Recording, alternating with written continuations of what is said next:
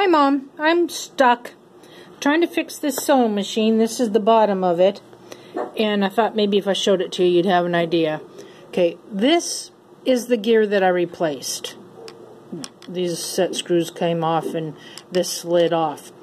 Okay, this is the gear that's on the end of the drive shaft. Me see if I move it, you might be able to follow it here. That steel rod down in the back there, not the not this one up front, but the one in the back in that hole. If you follow it, you can see there's another gear on it there. And there's part of the shaft. And then it comes over to this belt. So when the needle goes up, you know, the motor turns, the um, shaft goes around, and that turns, and it gets there. Well, when I watch the videos on replacing this um, gear, you know, you just undo these two set screws, pull it off, and put the new one on. It shows this gear as having set screws on it also, but mine doesn't. You can spin it all the way around, and there's nothing in there. And what's happening is the drive shaft is spinning, and this gear is only turning part of the time. It's like it's not tight enough on the shaft. And I don't understand. I'm almost thinking somebody might have replaced that gear and put the wrong one on it because what's going to hold it on that shaft tight so that when the drive shaft turns it also turns. Now see if I turn it here by hand it turns. So it's engaged with the new gear down here that's going to turn my hook but by motor, see if I turn the hand thing up here, if you follow it back, you can see it's turning. See all the other gears are moving. But it doesn't have an, it's not tight enough on the shaft. The shaft is moving. And when I look in this crack um, in here, you can see there's a uh, washer that looks like it's a type of spring. Like uh, uh, the washer is bent, and so it holds some tension against this gear to hold it against this gear, this tension spring. And I thought maybe that was it, that this this bent washer type of spring here, I don't know what they call those, but I thought maybe that was worn and not putting enough pressure.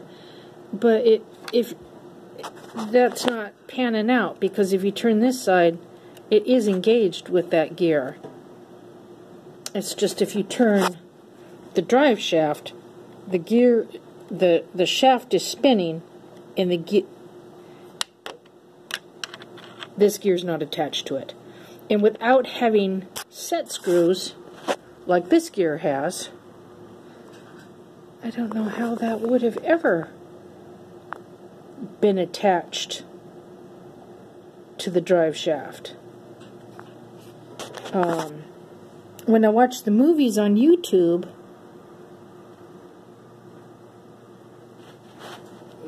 I can't find this exact model, but there's other singers, and this gear all has set screws on this, this bottom piece here, so you tighten it to the drive shaft. And so I'm almost suspicious that somebody replaced that with the wrong one? Ugh.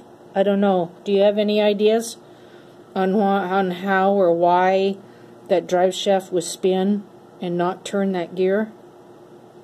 Because it's only turn it part of time, and so of course that throws the timing off.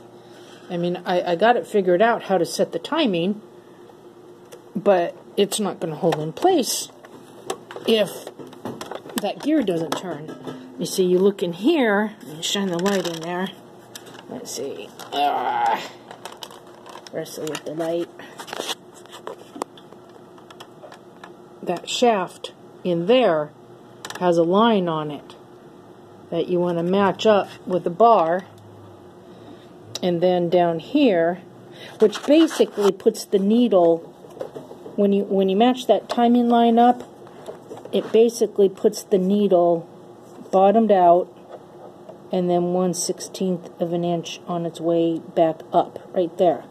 And when that needle is there, those lines on that bar line up and then this, which is the hook that picks up the thread when it goes around, that hook needs to be exactly behind the eye of the needle when it's 1 16th of the way up. So setting it right there sets the timing. Okay, I got all that figured out. But now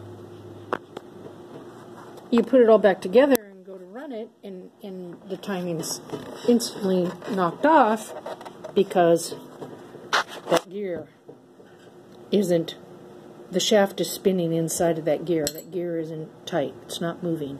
And I don't understand why it worked before, although when I really think about it, it didn't work properly before. I was always having problems with the bottom tension and the thread gobbing up and ugh, I'm stuck. What do you think? I wish I had the manual so I could see if, if that's a wrong part that somebody else might have put in there. Um, my other hypothesis is that this isn't holding enough tension, but that that's just not really panning out because that would just push this against the other gear and, and it is pushed against it. What it is not is tightened to the shaft. And without a gear like this one that has the metal piece on the bottom with the set screws, I don't know how you would tighten it to the shaft. See the gear down here that attaches to the drive belt has set screws on it. And the gear down here that turns this has set screws on it. And that's, you know, what keeps them tight on the drive shaft. So follow the drive shaft down to this one and there's no set screw to tighten it onto the shaft. and So you spin the shaft and the gear just sits there. So what do you think? You think they put a wrong part in there on me? Okay, talk to you later. Bye-bye.